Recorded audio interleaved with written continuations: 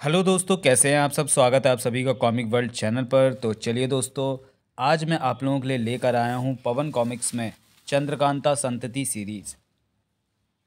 इस सीरीज़ में बारह कॉमिक्स हैं टोटल तो चलिए, शुरू करते हैं इस सीरीज़ का पहला भाग।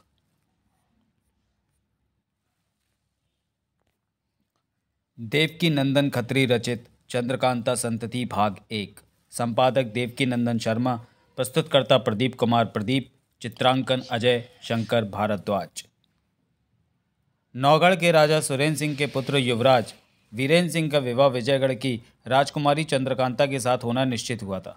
अतः निश्चित तिथि पर वीरेंद्र सिंह की बारात बड़ी धूमधाम और सज धज के साथ विजयगढ़ के लिए रवाना हुई। चंद्रकांता विजयगढ़ के महाराज जयसिंह की इकलौती पुत्री थी, जो अपने पिता की सारी संपदा और राज्य की अकेली वारिस थी। वीरेंद्र सिंह से शादी तय होने से पहले विजयगढ़ के दीवान कुपत सिंह के पुत्र क्रूर सिंह ने राजकुमारी चंद्रकांता को प्राप्त करने के लिए अनेक प्रकार के षड्यंत्र रचे, लेकिन वह अपने उद्देश्य में सफल न हो सका। क्रूर सिंह के दोनों जासूस, नाजिम और अहमद, अपने ही कुकृत्यों के कारण मौत के शिकार बन गए। क्रूर सिंह के षड्यंत्र को विफल बनाने में सबसे बड़ा हाथ चंद्रकांता की सहेली और जासूस चपला तथा वीरेंद्र सिंह के मित्र और जासूस तेज सिंह का था। तेज सिंह नौगढ़ के दीवान व जासूस जीत सिंह का पुत्र था। क्रूर सिंह जब अपने उद्देश्य में सफल नहीं हुआ तो वह चुनार के राजा शिवदत्त को विजयगढ़ के महाराज जयसिंह के खिलाफ भड़काने के लिए उनके दरबार में जा पहुँचा। उसने राजा शिवदत्त को विजयगढ़ पर आक्रमण करने के लिए उकसाया, क्योंकि चुनार उस समय एक शक्तिशाली राज्य था। राजा शिवदत्त के पास उस समय छह जासूस छह जासूस थे, पंडित बद्रीनाथ, चुन्नीलाल, रामनारायण, भगवान दत्त, पन्नालाल और घसीटा सिंह। उनके पास एक प्रसिद्ध तांत्रिक व ज्योतिषी जगन्नाथ भी था। उधर क्रूर सिंह ने चुनार के राजा शिवदत्त को अपने पूरे विश्वास में ले लिया और उनसे मिलकर विजयगढ़ पर आक्रमण कर दिया। इस अचानक हमले से महाराज जयसिंह कमज़ोर हो गए और वहाँ से भाग खड़े हुए। वह अपनी मदद के लिए नौगढ़ के राजा सुरेंद्र सिंह के पास पहुँचे। राजा सुरेंद्र सिंह के पास उस समय तीन काबिल व हरफन वाला मास, हरफन मौला जासूस थे जीत सिंह, तेज सिंह व देवी सिंह, तथा उनका बेटा वीरेंद्र सिंह एक बहादुर योद्धा था। इन चारों पर उन्हें पूरा भरोसा था। उधर राजा शिवदत्त ने विजयगढ़ पर कब्जा करने के बाद छल से क्रूर सिंह को खत्म कर डाला। उसने अपने तांत्रिक जगन्नाथ द्वारा नौगढ़ के जासूसों और युवराज वीरेंद्र सिंह को खत्म करने के लिए एक तिलिस्म की रचना की। राजकुमारी चंद्रकांता को भी तिलिस्मी बगला निकल गया था और वह तिलिस्म के अंदर कैद हो गई थी। चपला जब उसे तलाश करने के लिए वहाँ गई तो वह भी चंद्रकांता की तरह तिलिस्मी बगले का शिकार हो गई। राजकुमारी चंद्रकांता और चपला के तिलिस्म फंसने का समाचार जब वीरेंद्र सिंह को अपने जासूसों से प्राप्त हुआ तो वह चंद्रकांता को कैद से मुक्त कराने के लिए अपने जासूसों के साथ चुनार के लिए रवाना हो गया। चुनार पहुँचने के बाद जीत सिंह ने एक बाबा का वेश धारण कर लिया और देवी सिंह एक साधु का वेश धारण कर तेज सिंह को बार बार सावधान करता रहा। किंतु सबसे ज़्यादा उत्कंठा उस समय वीरेंद्र सिंह में जागृत हुई, जब उसने चंद्रकांता और चपला की लाशें देखी। वह यह सच समझ बैठा कि राजा शिवदत्त ने उन दोनों की सचमुच हत्या कर दी। लेकिन जब उसे तेज सिंह से यह पता लगा कि वे दोनों नकली लाशें थी तो वीरेंद्र सिंह ने चंद्रकांता और चपला की फिर फिर खोज शुरू कर दी। वह पता लगाता हुआ उस तिलिस्म में घुस गया। उसने तेज सिंह की मदद और अपनी ताकत से उस तिलिस्म को तोड़ डाला तथा चंद्रकांता और चपला को उस कैद से मुक्ति दिला दी। इधर तेज सिंह, देवी सिंह और जीत सिंह ने राजा शिवदत्त के सब जासूसों को अपने प्रभाव में लेकर शिवदत्त के खिलाफ कर दिया, जिससे शिवदत्त कमज़ोर पड़ गया। शिवदत्त ने जब अपने आप को शत्रुओं के बीच अकेला पाया तो उसने वहाँ से अपनी जान बचाकर भाग जाना ठीक समझा, लेकिन वह भाग न सका। और उससे पहले ही नौगढ़ के राजा सुरेंद्र सिंह द्वारा बंदी बना लिया गया। वैसे नौगढ़ के राजा सुरेंद्र सिंह की चुनार के राजा शिवदत्त से कोई दुश्मनी नहीं थी। उन्होंने तो केवल विजयगढ़ के महाराज जयसिंह की मदद की थी, जिसके कारण उन्हें चुनार का राज भी मिल गया और राजा जयसिंह की बेटी राजकुमारी चंद्रकांता से उनके बेटे वीरेंद्र सिंह का रिश्ता भी पक्का हो गया। निश्चित तिथि पर जब बारात विजयगढ़ पहुँची, उस शुभ समाचार पर राजा शिवदत्त को महाराज सुरेंद्र सिंह ने अपनी कैद से मुक्त कर दिया। महाराज शिवदत्त, हम अपने बेटे के विवाह की खुशी में आज आपको अपनी कैद से मुक्त करते हैं। तू मुझे मुक्त करके अपने सर्वनाश का बीज बो रहा है सुरेंद्र सिंह। मैं अपने इस अपमान का बदला लिए बिना चैन से नहीं बैठूँगा। अमर सिंह, महाराज शिवदत्त की हथकड़ियाँ और बेड़ियाँ खोल दो। जो आज्ञा महाराज। आज़ाद होने के बाद महाराज शिवदत्त जब वहाँ से जाने लगे तो तेज सिंह ने उनसे ठिठोली की। ठहरिए महाराज। अगर आप यहाँ से चलेगा तो यहाँ मशाल कौन पकड़ेगा? और तब महाराज शिवदत्त को वीरेंद्र सिंह की बारात में मशालची बनना पड़ा। देवी सिंह, वह देखो, अपने युवराज की शादी में महाराज ने चुनार से नया मशालची बुलाया। नया मशालची? तेज सिंह के इस मज़ाक ने शिवदत्त के मन में दुश्मनी का विष घोल दिया। इस वक्त तू हंसले सुरेंद्र सिंह, लेकिन यही हँसी तुझे एक दिन बड़ी महँगी पड़ेगी। कुछ देर बाद महाराज शिवदत्त अचानक गायब हो गए। अरे, वह मशालची कहाँ चला गया, देवी सिंह? लगता है वह शैतान यहाँ से भाग गया डरपोक कहीं का। उस दिन युवराज वीरेंद्र सिंह की शादी के साथ साथ, तेज सिंह की शादी चपला से और देवी सिंह की शादी चंपा के साथ संपन्न हो गई।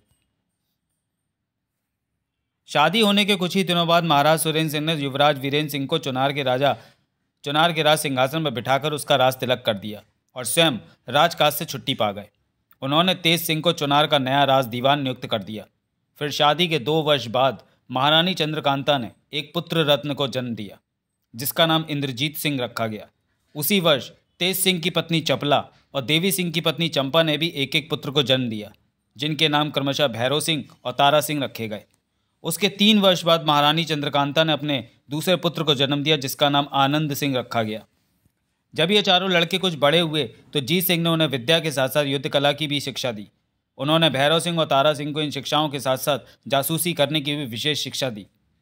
राजकुमार इंद्रजीत को शिकार खेलने का बहुत शौक था। एक दिन जब वह शिकार खेलने के लिए वन में गया तो अचानक एक वन रक्षक ने उसको बताया कि चुनार से दक्षिण दिशा के घने जंगलों में जंगली जानवरों के कई झुंड दूसरे जंगलों से भागकर वहाँ आ गए जिनमें शेर भी हैं। अगर वहाँ शिकार खेला जाए तो भी कोई दिन खाली नहीं जा सकता। इंद्रजीत सिंह और उसके साथियों को वन रक्षक का सुझाव पसंद आया। इसलिए जंगल से लौटने के बाद वीरेंद्र सिंह से वहाँ जाने की इजाज़त मांगी। तो दादा सुरेंद्र सिंह ने बड़ी खुशी से अपने दोनों पोतों को जंगल में जाकर शिकार खेलने की आज्ञा दे दी। दूसरे दिन ही इंद्रजीत सिंह अपने छोटे भाई आनंद सिंह तथा दोनों मित्र भैरव सिंह, तारा सिंह एवं पाँच पाँच सौ सैनिकों को अपने साथ लेकर दक्षिण दिशा के जंगलों के लिए रवाना हो गया। उधर महाराज शिवदत्त ने युवराज वीरेंद्र सिंह के डर से अपना चुनार शहर छोड़ दिया। और वह अपने कितने ही वफादार साथियों और उनके परिवारों के साथ दक्षिण दिशा के जंगलों की ओर भाग खड़ा हुआ। दक्षिण दिशा का जंगल बड़ा ही घना और लंबा चौड़ा था। इन्हीं जंगलों में पहुंचकर शिवदत्त ने चुनार से पचास कोस दूर एक पहाड़ी के ऊपर बने पुराने व मज़बूत किले में अपना डेरा डाल दिया, जिसका नाम उसने अपने नाम पर शिवदत्त गढ़ रखा। उस समय महाराज शिवदत्त के साथ तीस परिवार थे, जिनमें तीन परिवार मुसलमान जासूसों, वाकर अली, खुदा बख्श और यार अली के थे। जो क्रूर सिंह के सहयोगी नाजिम और अहमद के रिश्तेदार थे। ये तीनों जासूस अपने फ़न में माहिर थे और वीरेंद्र सिंह तथा उसके जासूसों से बदला लेने की नीयत से महाराज शिवदत्त के साथ हो लिए थे। उस किले में पहुँचने के बाद महाराज शिवदत्त अपनी चालाकी और होशियारी से वहाँ पर बसने वाली जंगली जातियों का राजा बन बैठा। वह उनसे मालगुजारी के रूप में अनाज, घी, शहद और बहुत सी जंगली वस्तुएँ वसूल करता और उन्हें शहर में बिकवाकर रुपया बटोरने लगा। धीरे धीरे उसने उन्हीं जंगली लोगों की एक बड़ी फौज बना ली और इस तरह शिवदत्त एक अच्छी खासी रियासत बन गई। इस बीच शिवदत्त के यहाँ एक पुत्र और एक पुत्री भी उत्पन्न हो चुके थे। उसके पुत्र का नाम भीमसेन और पुत्री का नाम किशोरी था। उसने वीरेंद्र सिंह से बदला लेने के लिए अपने जासूसों को लगा रखा था। उधर इंद्रजीत ने जंगल में पहुंचकर एक जगह अपना डेरा लगा दिया। उसने वहाँ के वन रक्षक को बुलाकर शेरों का पता लगाने की आज्ञा दी। सारी रात वह वन रक्षक जंगल में घूमता रहा, लेकिन अंधेरा होने के कारण शेरों का पता न लग सका। दूसरे दिन सुबह आकर उसने इंद्रजीत सिंह को सूचना दी कि रात होने की वजह से वह शेरों को ठिकानों का पता नहीं लगा सका। अतः उन्हें उस दिन शिकार का प्रोग्राम स्थगित करना पड़ा। शाम को दोनों भाई अपने दोनों मित्रों के साथ घोड़ों पर सवार होकर जंगल देखने के लिए निकल पड़े। जब ये चारों अपने डेरे से कुछ दूर पहुँचे तो अचानक उन्हें शेर की गर्जना सुनाई दी। तभी उन्हें जंगल में एक सन्यासी शेर पर सवार आता दिखाई दिया। अरे, वह देखो, कोई सन्यासी शेर पर सवार होकर इधर ही आ रहा है। अरे उसके पीछे तो दूसरा शेर भी है। कमाल है। सन्यासी और शेर की सवारी। मुझे तो बड़ी अजीब बात लगती है। मुझे तो यह सन्यासी का कोई चमत्कार लगता है। वे चारों सन्यासी के निकट पहुँचे। आओ राजकुमार इंद्रजीत, शिकार की तलाश में निकले हो। जी महाराज। अरे, ये सन्यासी राजकुमार का नाम कैसे जानता है? ज़रूर कुछ गड़बड़ है। लेकिन शिकार खेलते समय एक बात का ध्यान रखना कि मेरे पास सवारी करने और माल लादने के कई शेर हैं। इसलिए कहीं धोखे से तुम मेरे शेर का शिकार मत कर बैठना, वरना मुसीबत में पड़ जाओगे। लेकिन महाराज, हमें कैसे पता चलेगा कि वह शेर आपका है? इसलिए तुम्हें कल यहाँ आना होगा मेरे शेरों की पहचान करने के लिए। जी महाराज, अब हमें आज्ञा दीजिए, बहुत देर हो गई। फिर डेरे पर पहुंचकर चारों एक जगह बैठकर मंत्रणा करने लगे। मुझे तो ये साधु कोई पाखंडी लगता है, भैरू। इसका भी पता कल जल जाएगा। कल स्वामी जी से मिलने के लिए सिर्फ़ मैं जाऊँगा।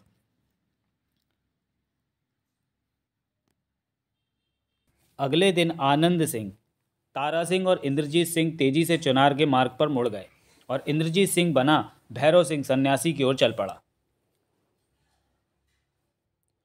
कहो, राजकुमार, तुम अकेले आए हो? तुम्हारे भाई और वे दोनों जासूस कहाँ रह गए? स्वामी जी, आनंद को अचानक बुखार आ जाने के कारण वे दोनों भी उसी के पास रह गए और मुझे अकेले आपके दर्शनों को आना पड़ा। कोई बात नहीं, इंद्रजीत सिंह, मैं तुम्हें एक राज की बात बताता हूँ। मैंने यहाँ एक बड़ा तिलिस्म देखा है। मेरा विश्वास है कि उस तिलिस्म में कोई बड़ा खजाना दबा है। अतः मैं चाहता हूँ कि तुम उस तिलिस्म को तोड़कर वह खजाना निकाल ले आओ। तिलिस्म देखने की तो मेरी भी बड़ी इच्छा थी महाराज। तो फिर चलो, उस शेर की पीठ पर सवार हो जाओ, मैं तुम्हें उस तिलिस्म तक पहुँचा देता हूँ। आज मुझे तेरी असलियत का पता चल जाएगा कि तू कैसा पखंडी साधु है। जैसे ही वे दोनों एक पहाड़ी के नीचे पहुँचे कि शिवदत्त ने सैनिकों, शिवदत्त के सैनिकों ने इंद्रजीत को चारों ओर से घेर लिया। कौन? महाराज शिवदत्त? तो मेरा अनुमान ठीक निकला कि तुम कोई साधु नहीं, चालबाज हो। ओह तो तुमने हमें पहचान लिया। चलो अच्छा हुआ। अब मुझे ये ढोंग रचाने की क्या ज़रूरत है? तभी महाराज शिवदत्त अपने असली रूप में आ गया। अभी तो मेरे आधे कलेजे में ठंडक पड़ी है। पूरी तो उस दिन पड़ेगी जब उसका दूसरा भाई भी मेरी कैद में होगा। तुम इस भरोसे में ना रहना महाराज। शिवदत्त, कि तुमने इंद्रजीत को फंसा लिया है। उसकी और बुरी नज़र से देखना, अपनी मौत को दावत देना होगा। इस तरह भैरव सिंह ने इंद्रजीत सिंह बनकर अपने आप को महाराज शिवदत्त के हाथों कैद करा दिया। महाराज शिवदत्त ने उसे इंद्रजीत समझकर अपने शिवदत्तगढ़ के किले में ले जाकर एक कोठरी में बंद कर दिया और बाहर दरवाजे पर अपना सख्त पहरा बिठा दिया ताकि वह उन्हें चकमा देकर वहाँ से भाग न सके। उधर चुनार के किले में महाराज सुरेंद्र सिंह, वीरेंद्र सिंह, जीत सिंह, तेज सिंह, देवी सिंह, इंद्रजीत सिंह व आनंद सिंह विचार मग्न बैठे भैरव सिंह के काम की तारीफ़ कर रहे थे। कि उसने किस होशियारी से स्वयं को इंद्र इंद्रजीत सिंह बनाकर महाराज शिवदत्त के हाथों कैद करा दिया। और वह बेवकूफ़ वाकर अली, जो बाबा जी बनकर शेर पर सवार हो सिद्ध तो बना, लेकिन अपना काम सिद्ध नहीं कर सका। फिर भी घसीटा राम, चुन्नीलाल, बद्रीनाथ, ज्योतिषी जी उसकी मदद के लिए भेजे, भेज दिए थे। पता तो लगे कि वे क्या खबर लाते हैं। सभा के खत्म होने पर दोनों भाई इंद्रजीत सिंह और आनंद सिंह गंगा के किनारे बनी बारादरी में जा पहुँचे। उसी समय एक सेवक ने उन्हें बूढ़े सौदागर के आने की खबर दी। तो इंद्रजीत सिंह ने उस सौदागर को अपने पास बुलवा लिया। वह बूढ़ा सौदागर हीरे जवाहरात का व्यापारी था। उसने दोनों राजकुमारों को, उसने दोनों राजकुमारों को दो अंगूठियाँ भेंट की, जिनमें इंद्रजीत सिंह की अंगूठी में एक सुंदर युवती का चित्र जड़ा हुआ था। आनंद सिंह ने जब उस अंगूठी में जड़ी तस्वीर देखी तो दंग रह गया। दूसरे दिन आनंद सिंह ने उस सेवक को बुलाया और उस सौदागर को बुला लाने का हुक्म दिया। लेकिन उस सेवक को वह सौदागर कहीं नहीं मिला। तब आनंद सिंह ने स्वयं उस सौदागर को तलाश करने का निश्चय किया। लेकिन इंद्रजीत सिंह की वह अंगूठी अचानक उसी रात गायब हो गई। दोनों को इस बात का बड़ा आश्चर्य था। आनंद सिंह को शक था कि कहीं वह सुंदर युवती इस दुनिया में है भी या नहीं, या फिर कहीं वह किसी शैतानी दिमाग की उपज तो नहीं। किंतु इंद्रजीत सिंह को उस अंगूठी के खो जाने का बहुत दुख था। अपने बड़े भाई का दुख देखकर आनंद सिंह को बड़ी चिंता हुई। उसने तब नाव से गंगा की सैर करने का प्रोग्राम बना डाला। उस समय एक बूढ़ा सेवक भी उनके साथ था। धीरे धीरे दिन भी ढलने लगा। फिर भी दोनों आगे को बढ़े जा रहे थे। चुनार से पाँच मील दूर, पश्चिम में गंगा के किनारे एक छोटा सा जंगल था। जब उनकी नाव उस जंगल के पास पहुँची तो गाने बजाने के सुरीले स्वर अचानक उनके कानों से टकराए। उन्होंने अपनी गर्दन घुमाकर चारों ओर देखा तो उन्हें हर तरफ़ सन्नाटा नज़र आया। लेकिन इस बात का उन्हें अंदाज़ा ज़रूर हो गया कि युवतियाँ ज़्यादा दूर नहीं हैं। उनके आसपास ही कहीं जंगल में नाच गा रही हैं। वे उस दृश्य को देखने के लिए लालायित हो उठे। आनंद सिंह के मन में भी यह सब देखने की उत्कंठा पैदा हो गई, अतः उन्होंने सेवक को नाव किनारे से लगाने की आज्ञा दी। उनकी आज्ञा सुनकर उस बूढ़े सेवक को नाव किनारे, बूढ़े सेवक ने एक बार तो वहाँ उतरने के लिए मना किया और समझाया कि वह जंगल बहुत मायावी और खतरनाक है, जहाँ हर रात कोई ना कोई स्वांग होता रहता है, इसलिए वे लोग उस जंगल में ना जाएँ तो अच्छा होगा। किंतु दोनों राजकुमार भी बड़े ज़िद्दी थे।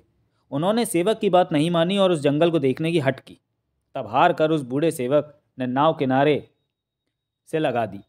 दोनों भाव ना, दोनों भाई नाव से उतरकर उसी आवाज़ की दिशा में चल पड़े। फिर थोड़ी ही दूर चलने पर उन्हें जंगल के अंदर एक पेड़ के नीचे दस पंद्रह सुंदर युवतियों का एक झुंड दिखलाई पड़ा। वो सुंदर युवतियाँ उस पेड़ की डाल पर पड़े झूले पर बैठी एक युवती को झूला झुला रही थी, जो कीमती जेवर तथा रंग बिरंगी झिलर मिलर किरण वाली पोशाक पहनी थी। वे सब युवतियाँ भी हाथों की तालियाँ बजा बजा कर नाच गा रही थी। उस झूले पर बैठी कन्या को देखकर ऐसा लगता था, मानो कितनी ही परियाँ किसी देव कन्या को झूला झुला रही हों। जब उन युवतियों की नज़र दोनों भाइयों पर पड़ी तो वे झूले पर बैठी सुंदर कन्या को छोड़कर वहाँ से भाग खड़ी हुई। अरे, वो सब तो भाग गई भैया। कोई बात नहीं, मैं झूले में बैठी युवती को देखता हूँ। तुम उन युवतियों को, युवतियों का पता करो कि वे किधर गई हैं। लेकिन जब इंद्रजीत उस झूले के निकट पहुँचा तो चौंक पड़ा। अरे ये तो वही युवती है जिसका चित्र सौदागर की अंगूठी में जड़ा हुआ था। उधर आनंद उन युवतियों को खोजता हुआ जंगल से दूर निकल गया। अरे, वे सब की सब इतनी जल्दी कहाँ गायब हो गई? यहाँ भी नहीं है। अंत में हारकर वह उसी स्थान पर लौटा तो हैरान रह गया। अरे, ये भैया कहाँ चले गए? वह युवती भी दिखाई नहीं दे रही। कहीं नाव पर तो नहीं पहुँच गए? लेकिन उसे नाव पर भी नहीं मिला। नहीं छोटे कुंवर, मैं तो तुम दोनों के इंतज़ार में कितनी देर से यहाँ अकेला बैठा हूँ। लेकिन बड़े कुंवर साहब कहाँ, गए कहाँ? यही तो मेरी समझ में नहीं आ रहा काका। खैर, मैं जब तक भैया को नहीं ढूंढ लेता, घर वापस नहीं लौटूँगा। और तब सारी बातें उस सेवक को समझाकर आनंद ने उसे वापस भेज दिया। तुम यहाँ का सारा हाल जानकर, जाकर पिताजी को बता देना। अब जाओ, रात होने वाली है। जी छोटे सरकार। किले में जाकर जब सेवक ने इंद्रजीत सिंह के गायब होने की सूचना दी तो तेज सिंह की एक टुकड़ी, एक सैनिक टुकड़ी लेकर उस जंगल की ओर चल पड़ा। आप धीरज रखिए महाराज मैं अभी जंगल में जाकर उन दोनों को खोज लाता हूँ। हम भी तुम्हारे साथ चलते हैं, तेज सिंह। अगले दिन सुबह तेज सिंह ने वह जंगल चारों ओर से घेर लिया। तुम लोग यह सारा जंगल साफ़ कर डालो। मैं देखना चाहता हूँ कि एक ऐसी माया, मायावी है। जो आ गया दीवान जी। थोड़ी देर बाद एक सैनिक वहाँ दौड़ा हुआ आया। दीवान जी, जल्दी चलिए। उस तरफ़ एक युवती की सिरकटी लाश पड़ी हुई है। सिरकटी लाश? चलो देखते हैं, किसकी लाश है वह। तेज सिंह, महाराज सुरेंद्र सिंह और जीत सिंह के साथ उस लाश के निकट पहुँचा। अरे, ये तो उसी युवती की लाश लगती है जिसके बारे में सेवक ने मुझे बताया था। पता नहीं वे दोनों भाई इस समय किस मुसीबत में होंगे। हिम्मत से काम लीजिए महाराज। आप लाश लेकर चुनार पहुंचिए, मैं तेज सिंह को उसकी खोज में भेजता हूँ। उधर, देवी सिंह ने जब सब लोगों के किले में लौटने की खबर सुनी तो वह दौड़ा हुआ चुनार के किले में पहुँचा। महाराज, मैं ज़रा उस लाश को देखना चाहता हूँ जो जंगल में पाई गई थी। लेकिन वह लाश तो रास्ते में ही गायब हो गई, देवी सिंह। क्या? लाश गायब हो गई? इतने लोगों के बीच से ऐसा कैसे हो सकता है? सब कुछ हो सकता है, देवी सिंह। लगता है कोई नया उपद्रव खड़ा होने वाला है। उधर पंडित बद्रीनाथ, पन्नालाल, घसीटाराम, चुन्नीलाल तथा जगन्नाथ ज्योतिष को जब यह पता चला कि भैरव सिंह शिवदत्तगढ़ के किले में बंद है तो वे लोग भी अपना भेष बदलकर शिवदत्तगढ़ जा पहुँचे और शहर में जगह जगह घूमकर वहाँ का भेद लेने लगे। दिन भर घूमने के बाद वे लोग रात को एक पहाड़ी पर इकट्ठे हुए जहाँ घसीटाराम और चुन्नी लाल ने अपनी शक्ल शिवदत्तगढ़ के चौबदारों जैसी बना ली। और दोनों उसी रात चौबदार के वेश में शिवदत्तगढ़ के किले में घुस गए। वे दोनों भैरव सिंह को खोजते हुए उस काल कोठरी तक जा पहुँचे। कोठरी के बाहर एक बूढ़ा दरोगा चारपाई पर बैठा वहाँ की निगरानी कर रहा था। वे दोनों उस बूढ़े दरोगा के पास पहुँचे और बोले, चलिए दरोगा जी, आपको महाराज ने फ़ौरन याद किया है। लेकिन अभी कुछ देर पहले तो मुझसे किसी ने आकर कहा था कि महाराज स्वयं यहाँ आने वाले फिर इतनी जल्दी उनका प्रोग्राम कैसे बदल गया? वह बूढ़ा दरोगा बोला हाँ वे आने वाले थे, मगर अब नहीं आएँगे, इसलिए तुम्हें बुलाया है। ठीक है, तुम दोनों इस कोठरी में बैठकर इस कैदी की निगरानी रखना, हम अभी महाराज से मिलकर आते हैं। आप इसकी कोई चिंता न करें दरोगा जी, हम इसकी पूरी हिफाजत रखेंगे। इतना कहकर घसीटा राम और चुन्नीलाल आराम से चारपाई पर बैठ गए, तभी उस बूढ़े दरोगा ने मौका पाकर उस कोठरी का दरवाज़ा बाहर से बंद कर दिया। अरे, ये क्या करते हो दरोगा जी? घसीटा राम ने चौक कर पूछा। वही जो एक दुश्मन को दूसरे दुश्मन के साथ करना चाहिए। क्या मतलब? मतलब मुझसे पूछते हो मूर्खों? तो सुनो मैंने तुम्हें पहचान लिया कि तुम चुनार के राजा वीरेंद्र सिंह के जासूस हो। अब तुम दोनों भी इस कैद खाने की हवा खाओ। इतना कहकर दारोगा वहाँ से चला गया। उफ, ये बुड्ढा तो हमें ही मूर्ख बना गया। उधर बद्रीनाथ, पन्नालाल और जगन्नाथ ज्योतिष जी दिन भर शहर में घूमने के बाद जब शाम को अपने अड्डे की ओर लौट रहे थे कि अचानक नकाब पोष उनके पास आया और एक छोटा सा कागज़ उनके ऊपर फेंक कर उन्हें अपने पीछे आने का संकेत कर तेज़ी से आगे बढ़ गया। बद्रीनाथ ने तुरंत उस कागज़ के पुर्जे को नीचे से उठा लिया। और एक बनिए की दुकान के सामने जाकर रोशनी में उसे पढ़ा जिस पर सिर्फ़ भैरव सिंह लिखा था। वह समझ गया कि भैरव सिंह किसी तरकीब से कैसे निकल भागा और सामने जा रहा है। तब तीनों जासूस भैरव सिंह के पास पहुँचे, जो सुनसान रास्ते पर एक पेड़ की ओट में खड़ा उन्हीं लोगों के आने का इंतज़ार कर रहा था। रात अंधेरी थी, इसलिए भैरव सिंह ने अपना नकाब उतार दिया और फिर चारों जासूस एक पत्थर की चट्टान पर बैठकर बातचीत करने लगे। भैरव सिंह कई दिन का भूखा था, इसलिए उसने हाथ के इशारे से बताया कि वह सामने हलवाई की दुकान है। जहाँ ताज़ी पूरियाँ और पानी आसानी से मिल जाएगा। वे चारों जासूस एक साथ हलवाई की दुकान पर पहुँचे और उससे दो शेर पूरी, एक शेर मिठाई तथा एक घड़ा भरकर पानी लेकर अपनी जगह लौट आए। लेकिन उन चारों को यह पता नहीं चल सका कि वह हलवाई भी अपने दो साथियों के साथ उनका पीछा करता हुआ वहाँ आ पहुँचा है और एक जगह छिपकर खड़ा होकर उनकी निगरानी कर रहा है। उस चट्टान पर बैठकर उन चारों ने भरपेट भोजन किया और पानी पीकर आराम करने के लिए उसी चट्टान पर लेट गए। लेकिन कुछ ही क्षणों में वे चारों बेहोश हो गए। उनके बेहोश होते ही वह हलवाई अपने दोनों आदमियों को लेकर उनके सिर पर आ खड़ा हुआ। तब उसके साथ आए दोनों आदमियों ने पन्ना लाल बद्रीनाथ, भैरव सिंह और जगन्नाथ ज्योतिष को एक रस्से से बाँध दिया। उसके बाद वे दोनों आदमी उन चारों जासूसों को उठाकर शिवदत्त गढ़ के किले में ले गए।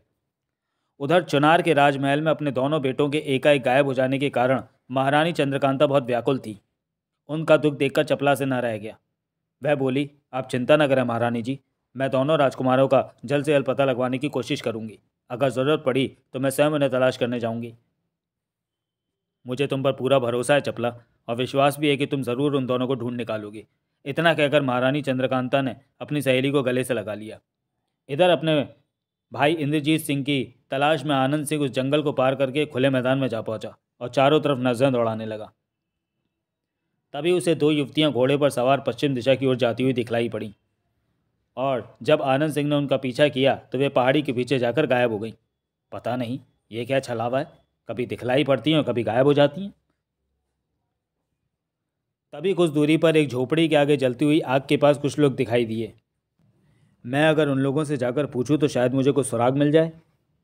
वह जब उनके निकट पहुँचा, आइए शहजादा चुनार, तशरीफ़ रखिए, यह महफिल आपका स्वागत करती है। अरे, ये लोग तो मुझे पहचानते हैं। कहीं मैं दुश्मनों के जाल में तो नहीं फंस गया? उसी क्षण एक व्यक्ति ने इत्रदान उसकी ओर बढ़ा दिया। शौक फरमाइए, शहजादे साहब, इलायची लीजिए, इस जंगल की सौगात, शुक्रिया। लेकिन जैसे ही आनंद ने इत्र सूँगा की, वह बेहोश होकर ज़मीन पर गिर पड़ा। और जब आनंद सिंह को होश आया तो उसने अपने आप को एक बंद कोठरी में पड़ा पाया। उफ, ये मैं कहाँ फंसा? यहाँ से बाहर निकलने का तो कोई रास्ता भी नज़र नहीं आता। उसी क्षण ऊपर दीवार में एक खिड़की खुली और एक सैनिक ने उससे अंदर झांका। राजकुमार, तुम इस रस्सी के सहारे ऊपर चढ़ाओ, जल्दी। और आनंद सिंह उसी रस्सी के सहारे ऊपर चढ़ गया। उस कोठरी से बाहर निकलने के बाद वह सैनिक आनंद सिंह को एक पेड़ के नीचे ले गया जहाँ घोड़े बंधे हुए थे। एक घोड़े पर आप सवार हो जाइए और दूसरे घोड़े पर मैं चढ़ जाता हूँ। चलिए, मैं आपको घर तक पहुँचाया हूँ। लेकिन तुम कौन हो? और चुनार यहाँ से किस दिशा में और कितनी दूर है? मैं कौन हूँ? इस वक्त ये जानना आपके लिए ज़रूरी नहीं है। चुनार यहाँ से बीस कोस दूर उत्तर में है। सुबह तक पहुँच जाएँगे। अब जल्दी चलिए, वरना फिर किसी मुसीबत में फंस सकते हैं। ओह तो चलो। चलिए दोस्तों, वीडियो को यहीं समाप्त करते हैं और मिलते हैं देवकांता संतति के भाग एक के दूसरे भाग में अगले वीडियो में। तब तक के लिए धन्यवाद।